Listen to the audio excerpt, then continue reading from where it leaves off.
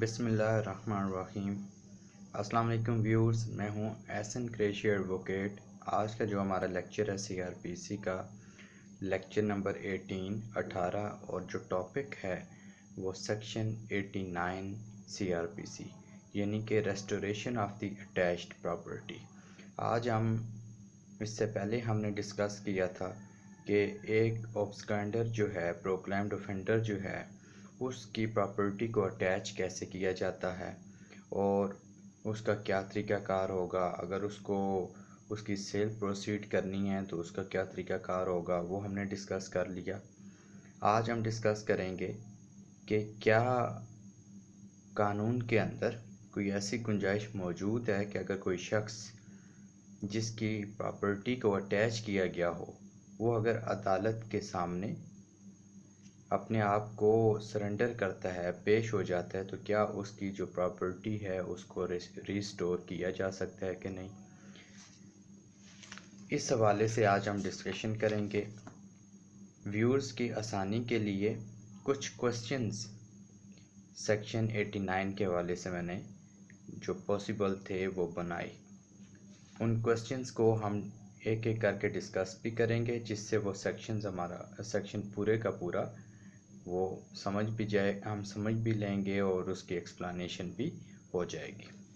پہلے ہم اس کے سیکشنز کے جو کوشچن ہیں وہ ہم دیکھ لیتے ہیں کیا ہے۔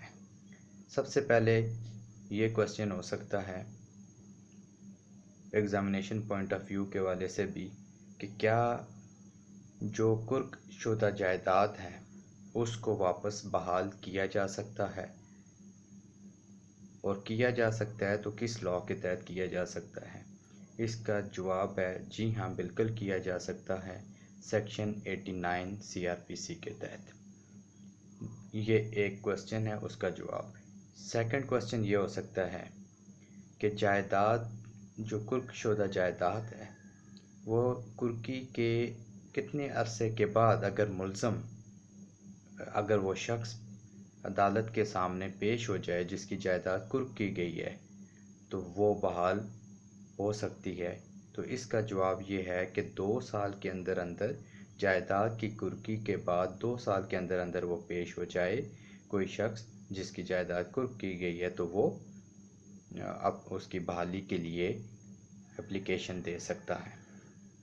اب نیکسٹ کوشچن ہو جائے، یہ ہو سکتا ہے کہ وہ شخص جس کی جائیداد کرک کی گئی ہو، اٹیچ کی گئی ہو، وہ کس عدالت کے سامنے پیش ہو سکتا ہے؟ اس کا جواب یہ ہے کہ وہ اس عدالت کے سامنے بھی پیش ہو سکتا ہے جس نے وہ آرڈر اٹیچمنٹ کا پاس کیا ہے، یا اس کے اپلٹ فارم میں یعنی کہ یا تو اس عدالت میں پیش ہوگا جس نے آرڈر پاس کیا ہے اٹیچمنٹ کا، یا اس عدالت کی جو اوپر والی کورٹ ہے، جہاں اس کے فیصلے کے خلاف اپیل ہو سکتی ہے، اس کورٹ میں بھی وہ پیش ہو سکتا ہے۔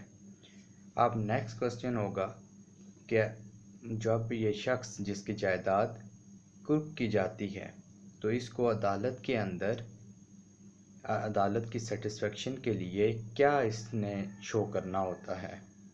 تو یہ اس کا جواب یہ ہے کہ عدالت کی سیٹسفیکشن کے لیے اسے دو چیزیں ثابت کرنی ہوتی ہیں۔ وہ یہ یہ وہاں ثابت کرے گا کہ اس نے ول فلی جان بوجھ کر جو وارنٹ ہے اس کی ایگزیکیوشن کو اوائڈ نہیں کیا اور اپنے آپ کو جان بوجھ کر کنسیل نہیں کیا۔ اس مقصد کے لیے یا ابسکانڈ نہیں ہوا، اس مقصد کے لیے کہ وارنٹ جو ہے وہ ایگزیکیوٹ نہ ہو سکے۔ ایک تو اس والے سے۔ دوسری بات یہ ہے کہ وہ یہ بھی بتائے گا کہ یہ جو پروکلیمیشن تھا، اس کے والے سے اس کو خبر تک نہ تھی اور اس کے اگر خبر ہوتی تو وہ ضرور پیش ہوتا۔ اب جب پتہ چلا ہے تو وہ عدالت کے سامنے روبرو پیش ہو گیا ہے۔ تو یہ دو چیزیں ہیں کہ اس نے جان بوجھ کر اپنے آپ کو کنسیل نہیں کیا اور جان بوجھ کر ابسکانڈ نہیں ہوا۔ کس مقصد کے لیے ابسکانڈ نہیں ہوا؟ کہ جان بوجھ کر کہ وہ وارنٹ کی ایگزیکیوشن نہ ہو سکے۔ اس اس نے جان بوجھ کر ایسا نہیں کیا۔ یہ عدالت کو مطمئن کر دے گا۔ اب جب عدالت مطمئن ہو جائے گی، تو عدالت اس کے بعد کرکی کی جو جائیداد، کی جو کرک شدہ جائیداد ہے، اس کی بحالی کے کا کیا طریقہ کار اختیار کرے گی؟ اس کا آگے طریقہ کار یہ کہ اگر وہ جائیداد، اب یہ طریقہ کار پہ اگر وہ جائیداد ساری کی ساری ڈسپوز ڈسپوز آف ہو گئی ہے، انہوں نے بیچ دی گئی ہے، تو وہ جو نیٹ اس کی ذرے بے کہہ لیں، جو اس کی اس وقت سیل کنسیڈریشن ہے، وہ اس کو واپس کر دے گی۔ کب کرے گی اس کو واپس؟ وہ جو اٹیچمنٹ کے اخراجات ہیں، جو کرکی کے اخراجات ہیں، وہ منہا کرنے کے بعد، ان کو ڈیڈکٹ کرنے کے بعد باقی پیسے واپس کر دے گی۔ اب دوسری چیز ہو سکتی ہے کہ اگر اس جائیداد کا کچھ حصہ بیچا گیا تھا، تو اس کچھ حصے کی جو اماؤنٹ ہے، وہ اس کو واپس کی جائے گی اور باقی جو بقیہ ماندہ جائیداد ہے، وہ بھی واپس کی جائے گی۔ مگر اگین اس میں سے جو اٹیچمنٹ کے اخراجات ہیں، وہ منہا کر کے باقی جو ماندہ رقم ہے، اس کو واپس کی جائے گی۔ یہ تو اس کا طریقہ کار کے والے سے ڈسکس ہو گیا۔ اب ہم اگر اس چیز کو سیکشن کو اگر ہم پڑھ لیں کوشچنس کو ہم نے کلیئر کر لیا سیکشن کو ایک دفعہ پڑھ لیتے ہیں، اس سے مزید کوئی بات ہے تو وہ کلیئر ہو جائے گی۔ If within two years from the date of attachment any person whose property is or has been at the disposal of provincial government under sub section seven of the section eighty eight appears voluntarily اب وہ شخص ایسا شخص جس کی property وہ attach کر لی گئی ہے اور وہ پروونشل گورنمنٹ کی ڈسپوزل پر ہے وہ دو سال کے اندر اندر اٹیچمنٹ کے دو سال کے اندر اندر وہ اپیئر ہو جاتا ہے یا اس کو لایا جاتا ہے عدالت کے کس عدالت کے اندر by brought before the court by which sub order of the property was attach جس جس کے آرڈر سے پراپرٹی اٹیچ کی گئی تھی اور the court to which is subordinate اور وہ جس کے uh, وہ جو کورٹ ہے اس کے سب آرڈینیٹ ہے یعنی کہ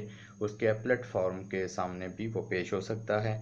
And proves to the satisfaction of the court he did not abscond or conceal set for the purpose of avoiding execution of the warrant وہی باتیں کہ وہ ثابت کرے گا کہ اس نے ابسکانڈ یا کنسیل اس لیے نہیں کیا، جان بوجھ کر کے وہ وارنٹ کی ایگزیکیوشن نہ ہو سکے۔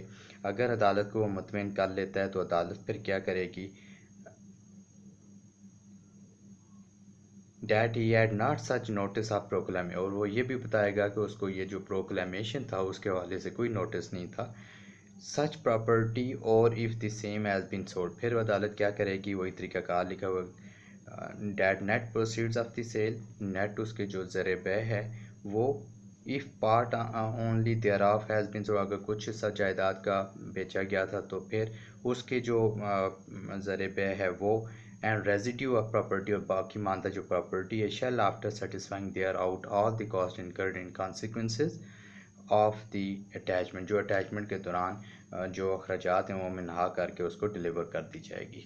سو ویورس یہ جو لیکچر تھا ریسٹوریشن آف اٹیچ پراپرٹی یعنی کہ جائیداد کرک شدہ جائیداد کی بحالی کس سیکشن کے تحت ہوتی ہے کیسے ہوگی کتنے عرصے کے دوران دوران اپلیکیشن دی جا سکتی ہے کس عدالت کے سامنے پیش ہو سکتا ہے یہ تمام کے تمام کوشچنز ہم نے کلیئر کرنے کی کوشش کی مجھے امید ہے کہ یہ لیکچر آپ کو پسند آیا ہوگا اگر میرا لیکچر آپ کو پسند آیا ہے تو میرے چینل کو سبسکرائب کیجیے لائک بھی کیجیے بیل آئیکن کو پریس کیجیے تاکہ میری آئندہ ویڈیو بھی بر وقت آپ کو مل سکے اور اپنی آراء سے مجھے کمنٹ سیکشن کے اندر ضرور آگاہ کریں۔